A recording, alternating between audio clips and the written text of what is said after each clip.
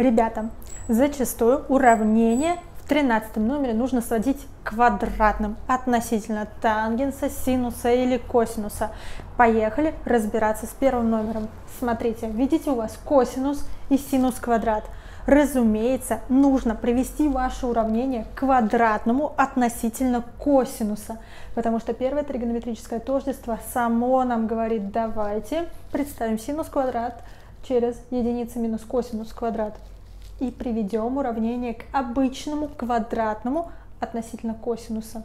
Косинус мы заменяем на t, где t лежит в пределах от минус единицы до единицы. Вспоминайте пределы косинуса от минус 1 до 1, пределы синуса туда же, ребята. Итак, по-другому записываю, как модуль t меньше равен единице. И начинаю решать обычное квадратное уравнение уже относительно t. Посмотрите, ребята. А, я решаю через второй четный коэффициент. Нажмите на паузу, разберитесь, пожалуйста, что у меня здесь получается. 3 а, плюс 72 это дискриминант, 75 75 я разбиваю на 2 множители 25 и 3. 25 выношу из-под корня. В общем, ребят, тут прям аккуратненько давайте вы разберетесь, посмотрите. Надеюсь, вы со мной согласитесь, что так все и получается. Два корня, ребят. Т1, Т2. 3 корня из 3 делить на 4 – это больше единицы. Вспоминаем, какое у нас ограничение на t от минус 1 до 1. Не подходит. Дальше, t2. Минус корень из 3 пополам. Yes. Давайте э, на единичной окружности изобразим, где находится э, значение косинуса минус корень из трех пополам. А вот, ребята, еще раз, косинус это x, значит, вот на оси ОХ я изображаю, точнее, наношу, да, минус корень из трех пополам. Это угол плюс-минус 5π на 6 плюс 2πk. Давайте сейчас, внимание, сейчас здесь все сотрется вот так. Ребята, так, все стерли и написали пункт 2. Точнее, я написала для вас. И давайте разбирать. Смотрите, нам нужны корни, которые лежат промежутке, отрезочек, да, от минус 7, минус 7 пи пополам до минус 2 пи. Ребята, если у меня вот здесь минус 2 пи, то, соответственно, здесь минус 3 пи. Давайте посмотрим на угол, который у меня отмечен зеленым салатовым цветом. А что это за угол? Острый угол. То есть меня сейчас не интересует вот это отношение минус 3π, минус 17π. Не смотрите на это. Вообще этот острый угол чему равен? Вернемся к э, исходному рисунку. Опять салатовым цветом я его уже заранее подготовила. Подготовила угол. Как вам такое? Так вот, э, ребят, если здесь 5π на 6, а здесь π, то это угол вообще 30 градусов. π на 6. Согласны? Еще раз, да, вот у вас 5 π на 6, здесь π. π минус 5 π на 6, это будет π на 6. Хорошо, тогда смотрите, давайте вычислим, что, э, что это действительно получается минус 19 π на 6. Минус 3 π минус π на 6. Вот этот острый угол я сейчас вычту. Получу, да, минус 19 π на 6. Смотрите, в ответе у вас должно быть два угла. Минус 17 π на 6, минус 19 π на 6. И, конечно, э, в качестве ответа на первый пункт следующее. Давайте этот ответ изобразим вот здесь. Ура! Вот ответ на пункт А, ответ на пункт Б. Переписываем. И что я хочу сказать? Смотрите, а, я не могу оставить без внимания второй способ решения пункта Б. К чему я? Если вдруг вы только что такие Чего она сказала? Я не понял, как решается пункт Б что это за окружности, куда вертеть, как вычислять углы. Возможно, вам это сложновато. Давайте разберем второй э, способ решения пункта Б. Итак, что я сделала? Я все стерла, оставила только ответ на первый пункт. Смотрите, по сути речь идет о том, при каких К мой ответ помещается вот в этот отрезок, лежит внутри него, ну, либо на границах, да. Так давайте найдем эти k по отдельности. Сначала с плюсом возьмем 5π на 6, потом возьмем с минусом, минус 5π на 6 плюс 2πk, и посмотрим при каких k. Итак, мы пишем двойное неравенство. Мой ответ, вот он, э, лежит в пределах от минус 7π пополам до минус 2π. Итак, я потихоньку начинаю избавляться от всего лишнего, чтобы у меня осталось в конце только k. Сначала я вычту из всех частей двойного неравенства 5π на 6. Итак, вычла отсюда, получила просто 2 пика. Отсюда, когда вычла, тут все преобразовало, здесь тоже все преобразовало в правой части. Получила следующее двойное неравенство. Минус 26 пи на 6 с левой стороны. А, правая граница это минус 17 пи на 6. Теперь осталось 2 пика. Разделим на 2 пи. И э, левую, среднюю, правую часть получим следующий ответ. От минус 13 шестых к лежит, да, до минус 17 двенадцатых. Смотрите, минус 13 шестых, минус 12 на 6 это минус 2, то есть чуть больше минус 2, а минус 17 двенадцатых это чуть больше минус единицы. К должны быть целыми, К принадлежат Z. Поэтому единственное целое число в этом промежуточке это минус 2. Поэтому при k равном минус 2 мой ответ лежит вот в этом отрезке. Давайте посчитаем. Если k равно минус 2, то здесь получается минус 4π. Так просто возьмем, посчитаем, получим минус 19π на 6. То же самое проделаем для корня с минусом. Сначала избавимся от вот этого минус 5π на 6. Получим следующее значение. Посмотрите, нажмите на паузу, перепишите, согласитесь со мной. Итак, дальше разделим каждую часть на 2π, чтобы осталось только k. Да, еще раз единственный корень, единственная k, да, получается целое в этом промежутке, это минус 1 Найдем при минус а, единице, сколько получится. Минус 5π на 6, минус 2π, минус 17π на 6. Итого, вот у нас, ребят, те же два ответа. Минус 19π на 6, минус 17π на 6. Если вы считаете, что этот способ вам удобнее, пользуйтесь им. Если вы считаете, если у вас в голове сейчас такой вопрос, а зачем нам показала тогда предыдущий способ, зачем он нужен был? Поверьте, нужен. Не отвечу вам на этот вопрос. Вот оба способа. А, первый пригодится чуть позже. Знайте оба.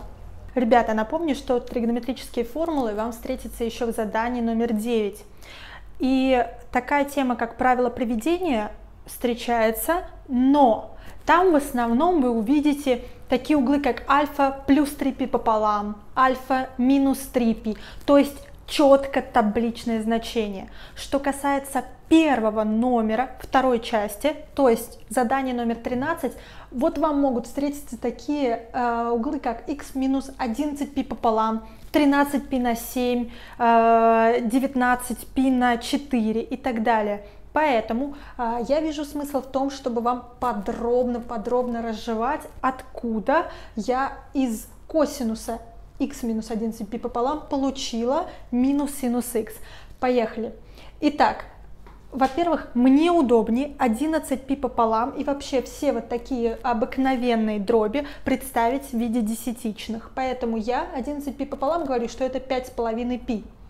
Дальше я смотрю, Сколько периодов можно выбросить? Период – это э, число, которое мы выбрасываем, и ничего в значении э, тригонометрической функции не меняется. Так вот, период у косинуса это 2π, насколько вы помните, я могу выбросить два периода. То есть я мое значение минус 5,5π раскладываю на минус 4π минус 1,5π. Вот это я выбрасываю, и у меня остается косинус x минус полтора пи. Полтора пи теперь я обратно верну в обыкновенную дробь 3π пополам. Что здесь? Почему я поменяла? Друзья, косинус это четная функция. Косинус минус x равно косинус x. Поэтому я просто поменяла знаки местами в аргументе, и значение тригонометрической функции не изменилось при этом. Еще раз, друзья, здесь было полтора пи, это то же самое, что 3π пополам. А вот теперь это табличное значение. 3π пополам минус х. Угу, 3π пополам это у меня вот здесь находится, да, вертикаль, а, поэтому меняется на синус. Единственное, что осталось посмотреть, в какой четверти лежит угол. Угол лежит 3π э, пополам минус х, лежит в э, так, третьей четверти, правильно? Хорошо, значит, получается ответ минус синус х. Вот, друзья, э, на этом примере подробно-подробно разжевала. Обращайтесь всегда к этому заданию, если у вас возникнут трудности с переводом. Хорошо, у меня получилось минус 2 синус х косинус х равно синус х. Возвращаюсь обратно к заданию. Вот сейчас вот здесь, пожалуйста, напишите аларм, аларм, аларм в капслоке. Э, пожалуйста, четыре восклицательных знака. Нельзя сокращать вот так синус и синус. Нет. Так, давайте еще раз другим цветом. Аларм. 6 э, восклицательных знаков мне, пожалуйста. Ребята, вы потеряете корень. Вы потеряете корень синуса x равный нулю. Мы можем только перенести в одну сторону, вынести синус, общий множитель, да, за скобки. И дальше уже сказать, если у меня два множителя равны нулю, произведение их, да, то каждый из них равен нулю. А, решаю два уравнения. Здесь x равен пк, а, здесь плюс-минус π на 3 плюс 2 пк. Вот они ответы. Друзья, М-м, м-м, м-м. Запомнили? Хорошо. Ответ здесь на пункт А. Пункт Б я буду объяснять со второго метода. Помните, когда мы составляли двойное неравенство? Окей. Итак, а, первое значение у меня было ПК. Вот я составляю двойное неравенство для этого значения. Нахожу а, область э, допустимых значений k от 3 до 4,5. Нам нужны целые, поэтому только 3 и 4 подходят. Подставляю это 3 и 4 в ответ. Получаю 3π и 4π. Два корня найдено. Следующее. 2π на 3 подставляю. К может лежать в пределах Ребят, не расписывала, посмотрите сами, убедитесь, что это действительно так. От 7 шестых до 23 двенадцатых. 7 шестых чуть больше единицы. 23 двенадцатых чуть меньше двойки. Целых значений там нет. Поэтому э, ответ с 2π на 3 плюс 2 пк не подходит. Не лежит он в этих границах. А, дальше. Почему я говорю в этих границах? В этом промежутке, да. Так вот, э, смотрим для минус 2π на 3 плюс 2 пк. Хорошо, составляем двойное неравенство. Убедитесь, что действительно k лежит от 11 π на 6, от 11 шестых до 31 двенадцатой. И дальше мы понимаем, что 11 шестых чуть меньше двойки, 31 двенадцатая э, не доходит, так, это чуть больше двойки, правильно? Э, значит, k равно 2. Подставляем сюда получается минус 2 пи натрий плюс 4 пи, 10 пи натрий. Итак, у нас есть три ответа. 10 пи натрий 3π и 4π. Ребят, теперь быстренько.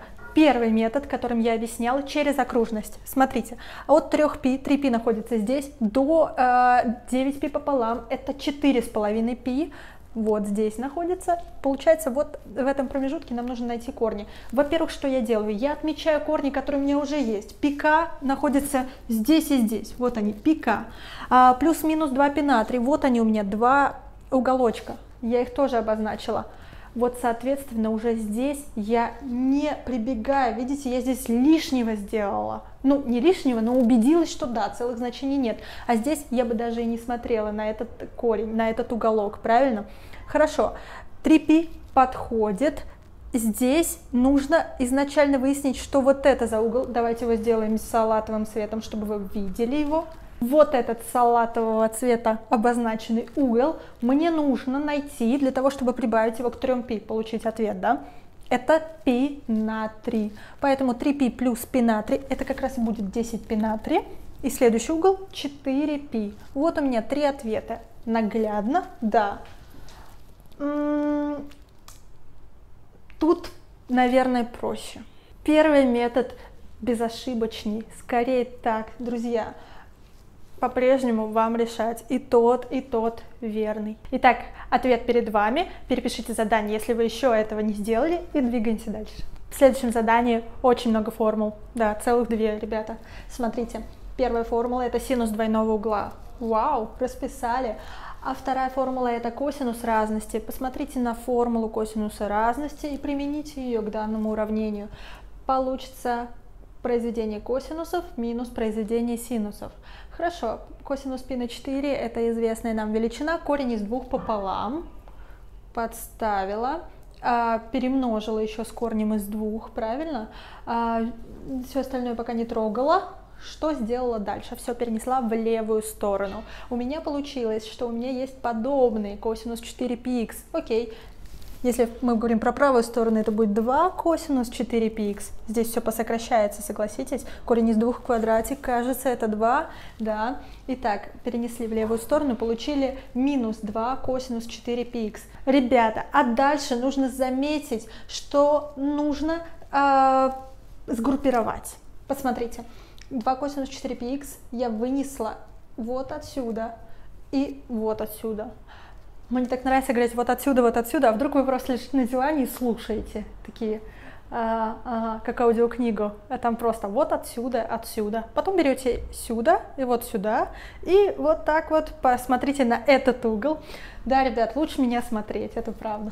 А, так, значит, вот отсюда и вот отсюда мы берем 2 косинус 4px, скобка остается а, синус 4px минус единица, правильно? Дальше мы выносим за скобку все, что осталось, 4, э, синус 4px минус единица. Давайте теперь общий множитель мы видим, это синус 4px минус единица, вынесем его, получится произведение двух множителей. Когда у меня равны два множителя нулю, когда и один из них равен нулю, это понятно. Так, получается два тригонометрических уравнения. Давайте их решим. Ну что, друзья, решение мы получаем. Косинус 4πx 1 вторая синус 4πx единица когда у нас косинус 4πx 1 вторая, когда угол равен π на 3. Дальше нас не устраивает вот это 4π, убирайся отсюда. Как оно уберется? Разделив все на 4π, получим плюс-минус 1 двенадцатую плюс k пополам. Здесь тоже мне не нравится 4π, разделим все на 4π, получим 1 восьмая плюс n пополам. k и n принадлежат z. Вот так решается первая часть нашего задания. Ребята, пункте Б в вашем отрезке, в который вы должны включить корни, нет никаких π, то есть никакой окружности она вам не поможет через двойное неравенство, конечно. Итак, у вас есть пункт, э, не пункт, корень первый, второй, третий. Итак, вы просто должны взять, заключить это в двойное неравенство и его решить постепенно. Сначала избавляемся от 1 двенадцатой, вычтем везде 1 двенадцатую, потом все домножим на 2, это вы уже умеете. Поэтому в сокращенной форме привожу вам ответ, решение точнее, а, k минус 1, 0, 1, вот такие значения может принимать. Подставляем эти k в наш корень вместо k, получаем 3 корня. Далее следующий корень рассматриваем, получаем 3 корня. И последний корень тоже 3 корня. Вот 9 корней на ответ пункта Б. Ну, ничего страшного, да, 9. Отлично. Друзья, ответы перед вами на пункт А, на пункт Б. Перепишите все в тетрадь, сверьтесь, правильно ли у вас получилось. Если да, то вы молодцы.